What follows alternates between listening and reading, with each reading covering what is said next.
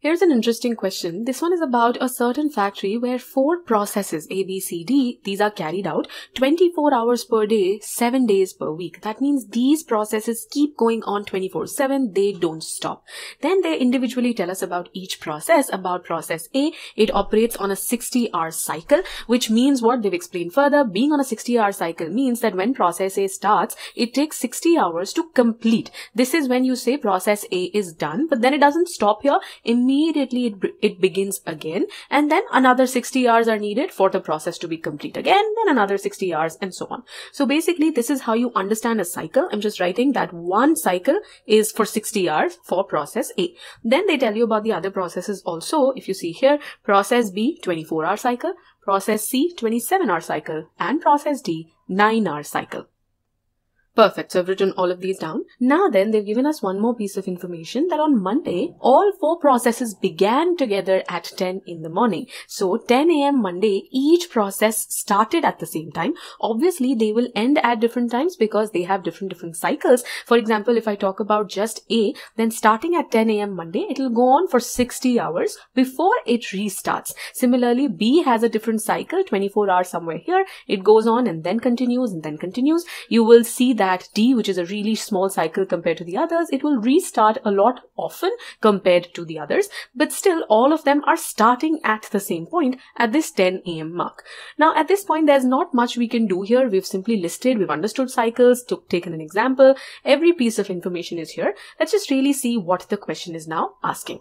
If you found the analysis of this dataset helpful, then hit that like button so that other GMAT aspirants can also learn from it. And to stay tuned with such content, hit the subscribe button below. Now, to take your learning to the next level, we have put together a free trial in which you can experience content in all the sections tested on GMAT Focus Edition.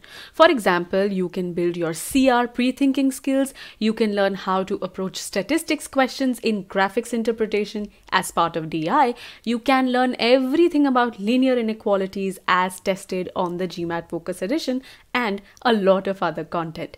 The link for this is in the description. Now let's get back to the question at hand. So, on the basis of all of this information, select for processes ABD, this first column, select for this what? The day of the week on which processes A, B, and D will next begin together at 10 in the morning. Very interesting. I'm going to read this later. First, let's understand this part. See, we know the first time all of them began together was 10 a.m. on a Monday. That was the first time. And then they went in their own cycles.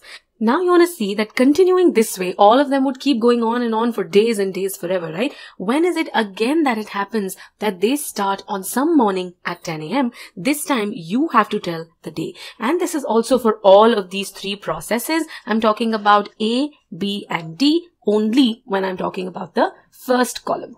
So we'll only try to understand when is it that these three will start again together at 10 a.m. only. So let's think about this. Come back here and only focus on A, B, and D. Let me just highlight these three. Okay. Now, the general principle is that whenever there is a repetition of certain activities that happen at regular intervals, these are all at regular intervals because they have fixed cycles and there is repetition because the same cycles are carried out 24-7. Whenever something like this happens, you're always looking at LCM. So you could straight away go to calculating the LCM of the correct values.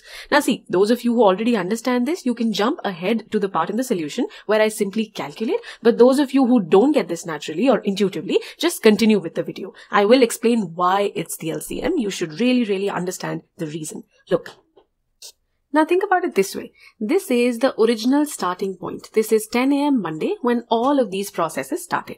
Now, although they had the same starting points because they had different cycles, they will, they will complete sooner or later depending on different different cycles. So if I look at A, which has a 60 hour cycle, the first time this process will complete will be 60 hours after 10 a.m. Then again another cycle will start and it will complete again after another 60 hours, which will really be 120 hours after 10 a.m this way.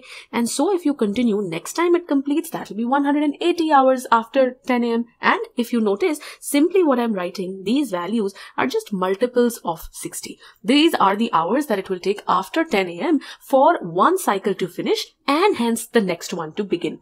Same thing if you look at here in B. Because it's now a cycle of 24, first time it finishes 24 hours after 10 a.m. Next time, this will be a multiple of 24, so 48 hours, and so on. This is going to be 72, 96, and so on. This is how many hours it will take to finish different different cycles of B after 10 a.m. Now, notice all of these are nothing but multiples of 24. Similarly, lastly, when you look at D, then these will also be nothing but multiples of 9. So it's going to be 9 and then 18, 27, 36, and these many hours after 10 a.m.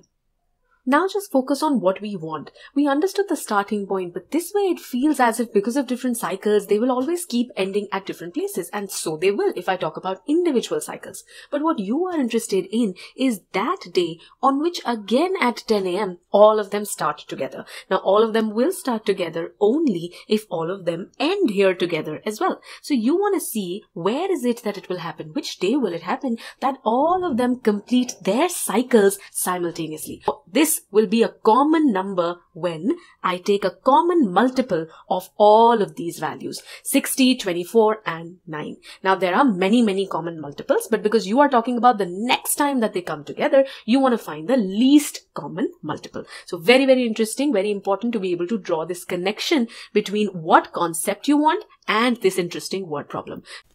At this point, let me ask you this. Could you have arrived at the approach of solving this question with this level of clarity had you not spent the effort in thoroughly understanding the information presented?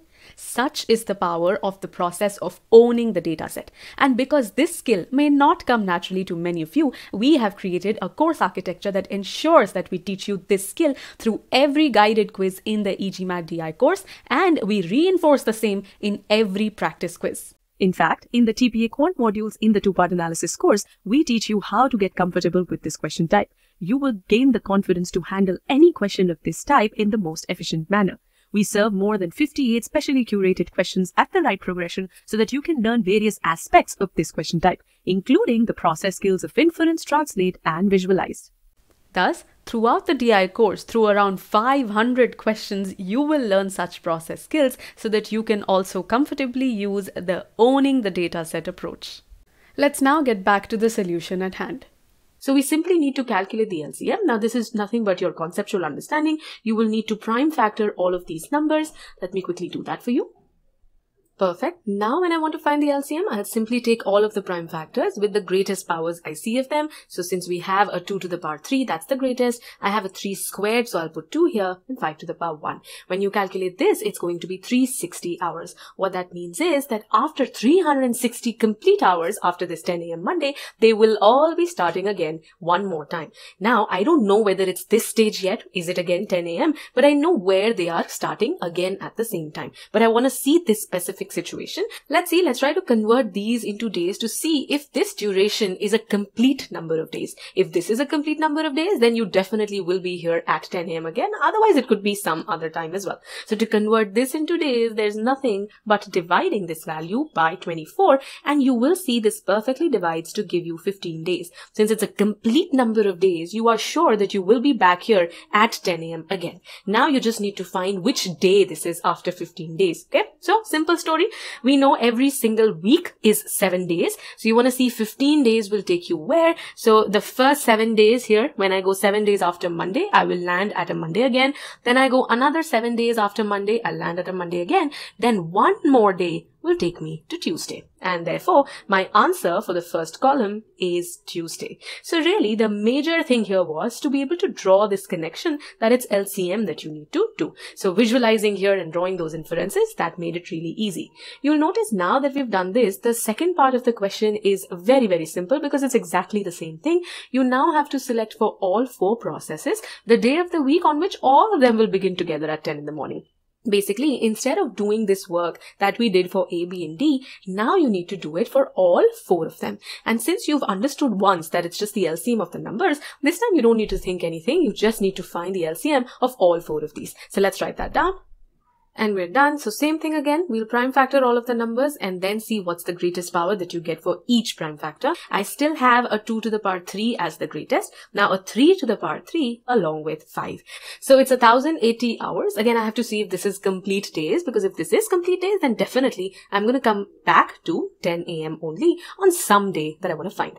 So 1080 hours, simply divide this by, by 24. This is 45 days. So yes, this is complete days. Now understand how many weeks this is because it's more. I should not just keep writing 7 and 7. I can think of the nearest multiple of 7, which is 42 which means it's six complete weeks that'll take me back to a Monday. And after that, it's just three more days, right? So I complete here after 42 days, I'll be here at a Monday. And then after three more days, it's Tuesday, Wednesday, and Thursday. So therefore, the answer for this second column, this day that we were looking for, this is Thursday. And we're done. Let's now nicely summarize this. So first, we understood everything that was given to us. We saw that the information was not very complicated to understand, but taking an example was very important here to completely own the data set. After that, once we understood what the question was saying, we still had to come back and do this visualization to make sure that we truly understand what's given, what is asked, how many days, what is the time you're starting, what are all of these cycles about. That clarity helped us very easily connect this with the concept of LCM. Since we found the LCM easily, we saw that it was 15 days and then it was just about if I go 15 days after Monday, which day am I at? Same way here, it was if I start on a Monday at 10 a.m., then 45 days later, where is it? Which day will I be at? So that was relatively straightforward. The part about finally marking the answer was easy. It was really this part where you're understanding the situation. So it really shows the importance of owning the data set. Once you do that, answering the questions asked will be really, really quick.